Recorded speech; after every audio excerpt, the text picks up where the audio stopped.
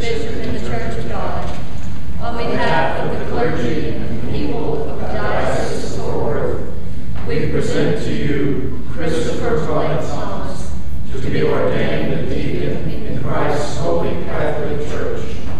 I solemnly declare that I do believe the Holy Scriptures of the Old and New Testaments to be the Word of God and to contain all things necessary to salvation. And I do solemnly engage to conform to the doctrine, discipline, and worship of the Episcopal Church. Is it your will that Christopher be ordained a deacon? Yes. Will you uphold him in this ministry?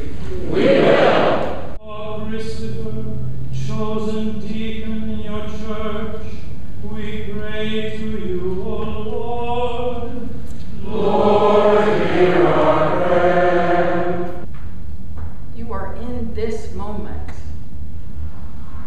at an ending and a beginning.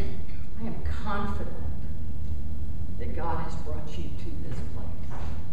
If you do this, if if you risk this word, then the promise of God is that God will put God's word in your mouth and on your lips in this moment, in all of your moments ahead. Trust in the Lord, who is your sun and your shield, and then watch the unimaginable happen. We praise you for the many ministries in your church and for calling this your servant for the order of deacons. Therefore, Father, through Jesus Christ your Son, give your Holy Spirit to Christopher. Fill him with grace and power, and make him a deacon in your church. Make him, O Lord, modest and humble, strong and constant, to observe the discipline of Christ.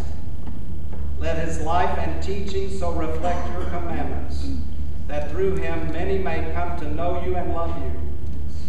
As your Son came not to be served, but to serve, may this deacon share in Christ's service and come to the unending glory of him who with you and the Holy Spirit lives and reigns, one God, forever and ever. Amen.